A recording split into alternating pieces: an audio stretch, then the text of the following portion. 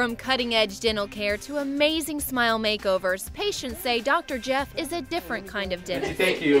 All right. Thank you. I'll see you later. Dr. Jeff is an engineer, an artist, and just a deeply compassionate person. Once you walk in his office, you would be amazed at what him and his staff, oh, all the way down, they do for you and how they make you feel. Call Dr. Jeff and ask about our bleaching opportunities and sedation dentistry. He's located on the corner of Standard and Highway 108.